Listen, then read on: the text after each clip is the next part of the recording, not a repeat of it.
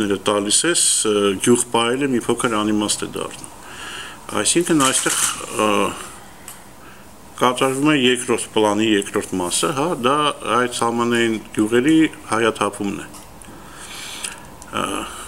դրանից հետո քանի որ ստորագրվել էր նաև կարծեմ փախստականների վերադարձի խնդիրը դրված Դրանից հետո կսկսեն փախստականներին, հիմնականում ադրբեջանցի, հա, վերադարձնել իրենց նախին գյուղերը։ Մենք գիտենք, որ նույն Կապանի շրջանում կամ նույն Մեղրի շրջանում բազմաթիվ են եղել ադրբեջանցիներով բնակեցված գյուղերը խորհրդային միության ժամանակ, հա, եւ եթե այս կառավարությունը շարունակի գոյություն ունենալ Հայաստանում, ինքը շատ հանգիստ կհամաձայնվի, որ ընդհանրենք նույն ադրբեջանցիները վերադառնան կապանի իրենց նախին գյուղերը կամ մեղրի իրենց նախին գյուղերը եւ այսպեսով արդեն կսկսվի այն ինչից մենք 1989 թվերին բարձրանք դա Հայաստանի ադրբեջանացումն էր 88 թվականին, եթե մենք քարտեզը նայենք, որտեղ են ադրբեջան, որտեղ են ադրբեջանցիները ապրում Հայաստանին, դա բոլոր սահմանների վրա իրենք էին նստած, հա, եւ լավագույն գյուղերում, հա, որոնք լավ արոտավայրեր ունեն, ընդհանրին լավ պայմաններ ունեն, հիմնականում ադրբեջանական գյուղեր են։ Հիմա սկսվի այդ երրորդ этаպը՝ գյուղերի ադրբեջանացումը եւ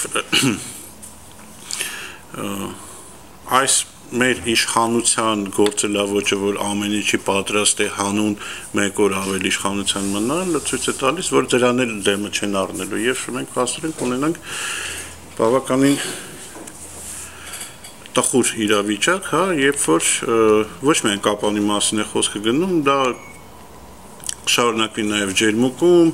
դա կշարունակվի նաև Վարդենիսի շրջանում, արդեն նաև կհիշեն, որ Արտաշատում եւ Մասիսում են ապրել, այսինքն գիտեք ոնց է մարդուն մարդուն չէ, ադրբեջանցու sense ասենք, մատը որ դեմ ես տալիս, ինքը ձեռն է կծում, հետո մինչև գլուխը կհասնի, հա, այսինքն եթե դու չես դիմադրում,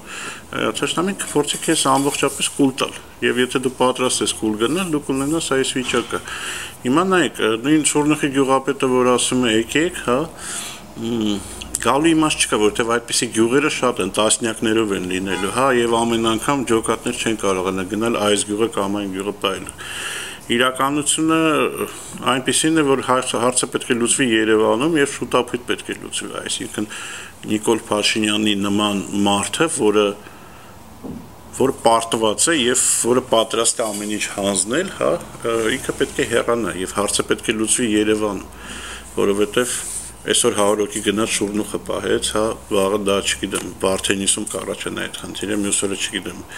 ջերմուկում, այն մյուս օրը մեղրիում, անդադ չեն կարող այդ մարդիկ դասուդա վազել, այսինքն ստեղ պետք է լինի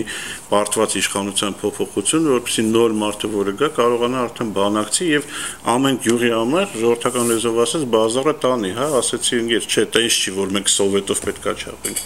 Հետո գիտեք ինչն է զարմանալի, նույն GPS համակարգը ինքը ստանում է տվյալները երկրների կառավարություններից համապատասխան կազմակերպություններից, որոնք այս կոորդինատները ամեն ինչ հավաքագրում են եւ իրենք ուղարկում են համապատասխանաբար, որ այդ GPS-ը լրացվի։ Մեր մոտ հակառակն է։ Մենք GPS-ով ենք տվյալները վերցնում ու փորձում ենք սահմանը գծենք։ Այդպիսի բան չկա աշխարհում։ Այսինքն պետք է հավաքվեն համապատասխան հանձնաժողովներ Ադրբեջանի եւ Ադրբեջանի կողմից, որոնք բարեկամավան գյուղից նոյեմբերանի մինչև Նյուվադի Նռնաձորը կարծեմ կոչվում Մեղրի գյուղը, այսինքն վերևից ներքև հատ-հատ գնան, ասեն այս սարի հիմնա, այս դաշտը կոննա, այս այս սենցա։ Սա գծեն, պայմանավորվել կոորդինատները խփեն, արդեն ուղարկեն Google-ին, չգիտեմ, բոլոր այդ բաներին, համապատասխան սերվիսներին, որ իրենք ներառեն։ Իսկ հիմա ինչա կատարում, հիմա բացում են, ասում են, վայ GPS-ով այս սենցա, GPS-ով այս նենցա, իտոք ստացվում է, որ Գորիսից կապան գնալը հիմա այդ ճանապարհը ինքը ճանապարհի մի մասը անցնում է Ադրբեջանի տարածքով եւ ֆորմալ կարելի է ընդհանրենք այդտեղ տարածք չտալ, բայց ընդհանրենք նույն խնդրեմը ընդհանրենք ադրբեջանցիները ունեն Տավուշի մարզում, կարելի է Տավուշից ինչ որ բան հատկացնել։ Դրա համար են բանակցողներ, դրա համար են մարտիկ նստում, որոշում, որը որից հետո է եւ ոնց է ինչա լինում։ Այս կառավարությունը ինքը ունակ չի որևէ այդպիսի գործնություն ծավալել։ Իրենք իրենք չգիտեն ոչ Արցախի տեղը, ոչ Սյունիքի տեղը, ոչ ճանապարհների տեղը, ոչ մի բան։ Իրենց համար պետք է մեկ օր ավել մնալ իշխանությանը։ Իտոգում ինչ ստացանք, ստացանք, որ Արցախի 9 շրջան Ադրբեջանն է անցել, հա, ընդ որում Հադրութի շրջանի վերջի երկու գյուղերն էլ անցան ադրբեջանցիներին, այդ դրանով չբավարարվեցին, հիմա տալիս են Սյունիքի անվտանգությունը, այսպես ասենք, հիշում եք, որ Փաշինյանն ու Զորաբ Նացականյանը մեծ-մեծ խոսում էին Արցախի հարցը դա առաջերտին անվտանգության հարց է, հա, հիմա անվտանգություն եւ Արցախը իրենք դիտարկում են որպես անվտանգություն, հա, հիմա Սյունիքը զրկվում է իր անվտանգությունից մեծամասնությունով։ Եվ հիմա դա երկրորդ փուլն է, երրորդ փուլը ես արդեն ասացի, արդեն դա լինելու է Սյունիքի հայաթափում եւ ադրբեջանացումը, որովհետեւ եթե վաղը ադրբեջանցիները ասեն, որ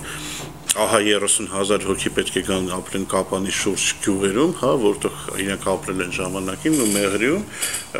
այս կառավարությունը հանում նրա որ մեկ օր ավել մնա իշխանությունը, կասի հա օքեյ, եկեք ապրեք։ Երեք Մանեկ Գևորքյանը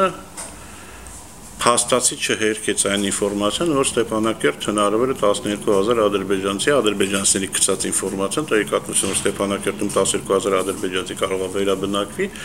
ինքը դա չհերքեց, ասեց ես դրանով չեմ զբաղվում, հա ինչ են երակողմով sense բան կա, բայց կոնկրետ թվեր եւ այլն, էլի, այսինքն Պարզ է, որ սրանք դրանել են պատրաստ։